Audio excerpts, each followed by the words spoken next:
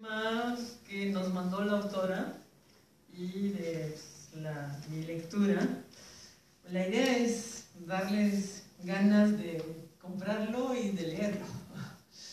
Este mm, está bien conocido del gran público que las sociedades mesoamericanas, en particular los mayas, tuvieron amplios conocimientos en astronomía y elaboraron calendarios complejos.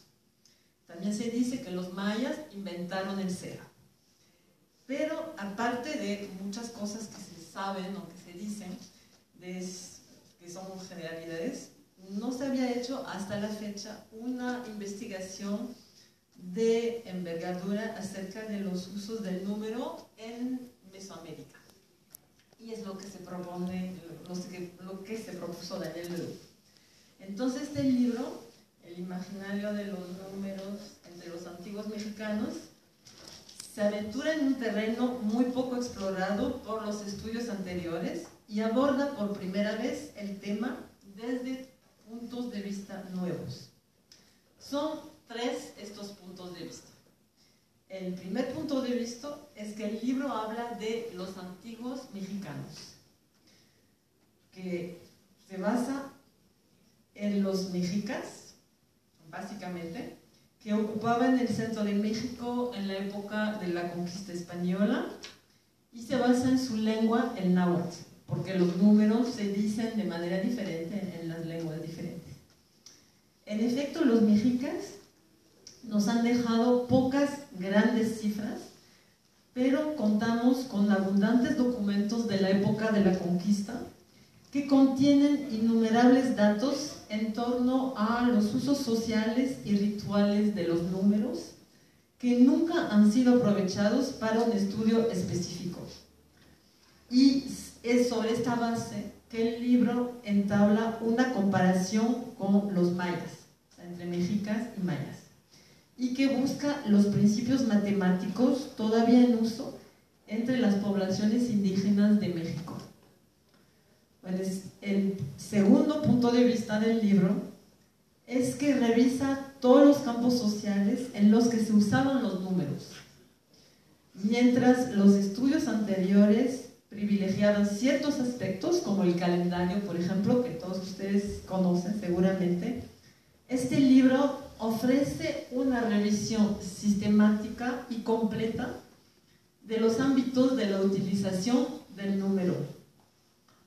Las numeraciones orales y escritas, el empleo del número en las cuentas tributarias, los censos y las operaciones comerciales, en el calendario, obviamente, en las medidas, en la adivinación, en los juegos, en los mitos y en los rituales.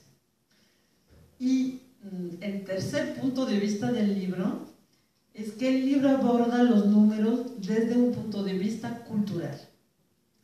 Los campos de utilización del número fueron revisados porque el objetivo era entender los usos sociales y rituales del número en la civilización mexicana. Eso es el objetivo mayor de la autora. Y mm, a partir de una hipótesis de que, que es que los procedimientos cognitivos que ahí se desarrollaron respondían a la forma y a las necesidades específicas de esta sociedad. O sea que los mexicas o los mayas usaron los números en función de sus necesidades culturales, sociales, políticas, religiosas, que no se puede separar esos usos sociales de los números. En efecto, contrariamente a la visión que prevalece en nuestra sociedad actual y tiende a limitar las funciones del número al intercambio económico, el número mexica era ante todo un objeto político-religioso. Y es eso que demuestra el libro. Crear una identificación entre el hombre y el cosmos, o sea, todo lo que lo rodea. Descifrar el futuro para incluir en el destino, tales eran las preocupaciones de los mexicas. Y todo eso lo hacían con los números. Y el libro se pregunta a cuáles usos del número. El título es Las medidas del tiempo. Las medidas del tiempo se presentan de manera sintética el sistema calendárico de los mexicas comparado con el maya. Como esto es algo que ya se conoce bastante, no voy a insistir sobre este capítulo, solo que entre el calendario anual de 18 meses, el calendario ritual de 20 signos, hay muchos estudios que ya existen sobre el calendario, pero Daniel sí le da, hay un capítulo que eh, habla de calendarios y de números en calendarios. Luego vienen capítulos que son más originales. El capítulo 5, quinto, se llama el cosmograma. El cosmograma, ¿qué es el cosmograma? El cosmograma es un aspecto fundamental de la cosmovisión de los pueblos mesoamericanos. No sé si les puedo enseñar, va a ser difícil enseñarle uno, porque hay muchos dibujos en este libro, hay muchas ilustraciones. Eh, es una representación del mundo por medio de la forma geométrica de un cuadrilátero. El capítulo 11, los ritos y los días. El capítulo 12, los depósitos rituales. O sea que el libro termina en un capítulo sobre los depósitos rituales, que en realidad es a partir de ahí que Daniel Louvre empezó a pensar en los números, como lo dijo Martín. Viendo los depósitos rituales en Guerrero, es así como empezó a reflexionar a raíz de los números.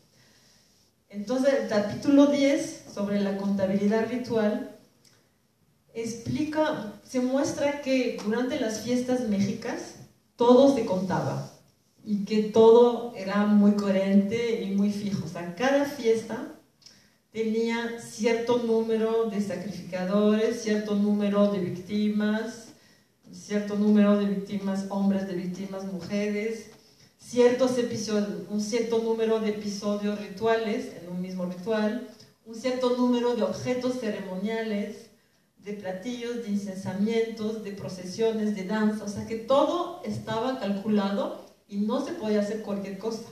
En el libro da algunos ejemplos sobre, página 255, sobre el tipo de, de ritual, tal como son bastante, por ejemplo, los actuales de los, los actores de los rituales. Eh, dice Daniel Deuve, examinaré primero los sacrificadores. En un ritual que se llama X Xocotluetzi, no sé si pronuncio bien, tres sacerdotes del fuego se encargaban de arrojar a las víctimas a la hoguera e instalar el elevado mastit que representaba el fuego en consonancia con el simbolismo numérico de esta potencia natural, que es el 3, como decía antes.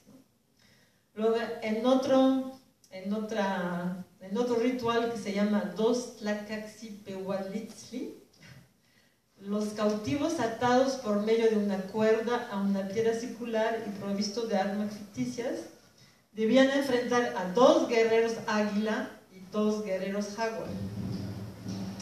Y es así, ¿no? Igual para las víctimas.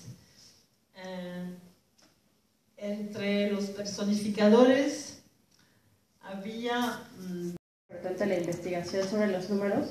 Eh, a partir de la introducción que hizo nuestra autora Daniel Lebu, eh, utilicé como varios de los conceptos y de la información que ella aborda para hacer un pequeño ensayo que es una pequeña reflexión sobre la importancia de los números. Los números son utilizados desde antiguo con diversos propósitos, medir el tiempo, la edad, contabilizar objetos, intercambiar o vender bienes, medir superficies, construir, tomar temperatura, altitud, longitud, calcular la presión, el peso, la masa, la velocidad, predecir el clima, medir ondas electromagnéticas, realizar estadísticas, conteos de población, en la programación de software, etc. En cualquier cosa en la que pensemos están involucrados los números, incluso en nosotros mismos, pues desde que nacemos se nos asigna en el acta de nacimiento un número de identificación. La idea de que el número es un lenguaje innato tiene muchos adeptos, según Oñate, el sentido natural del número se manifiesta en los seres humanos y en algunos animales, por ejemplo en aquellos que guardan reservas de comida. Sin embargo, los animales solo perciben cantidades, es decir, perciben poco, mucho y nada. Contar, calcular, medir y pesar no son cualidades que ningún animal haya adquirido además del ser humano. Con los números, el hombre creó un sistema perfecto y universal que comprendemos todos, que encierra una verdad precisa y absoluta, sin lugar a subjetividades. A decir de David Pett, la matemática ha aislado y refinado varios de los elementos abstractos que son esenciales a todos los lenguajes humanos. Las matemáticas han sido consideradas por algunos estudiosos como un sistema de notación semejante a una lengua, pues poseen las siguientes características. Un sistema de notación basado en símbolos. Un vocabulario correspondiente. Todos reconocemos las palabras como suma, resta, multiplicación, división, porcentaje o exponente. Una gramática que se constituye por normas que nos indican cómo usar estos símbolos. Por ejemplo, hay reglas para calcular áreas, volúmenes o promediar cantidades una comunidad de personas que usan y entienden estos símbolos. En la actualidad, el uso del número arábigo se ha generalizado en muchos países, salvo en comunidades primitivas que conservan sus propios sistemas. Un conjunto de significados que, puede, que pueden comunicarse con estos símbolos, como ganancia, pérdida, mayoría o igualdad. Según Money, el lenguaje matemático es mucho más exacto que cualquier otro, pero al mismo tiempo también es el más limitado.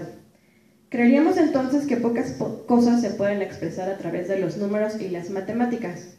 Incluso sería posible señalar que no hay oportunidad de demostrar con números las complejidades del ser humano. Sin embargo, los números han sido pieza clave para el desarrollo de las civilizaciones y de la humanidad, desde el origen del hombre hasta los progresos de los últimos 50 años en todos los campos. La medicina, la informática, el arte, la antropología han ido de la mano de los avances de los métodos de cálculo.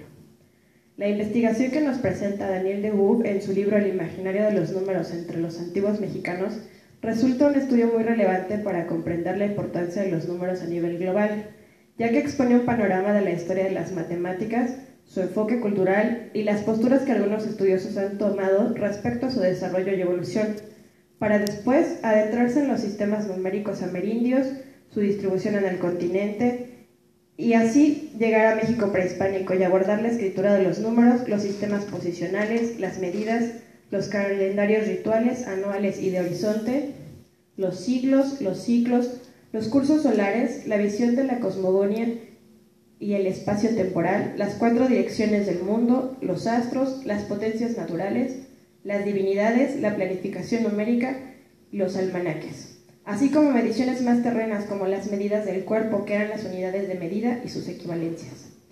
La autora también se adentra en los manuscritos que se enfocaban a pronosticar el porvenir de una persona, de una pareja, del crecimiento del maíz, y así llega hasta los juegos de azar, las adivinaciones y los rituales.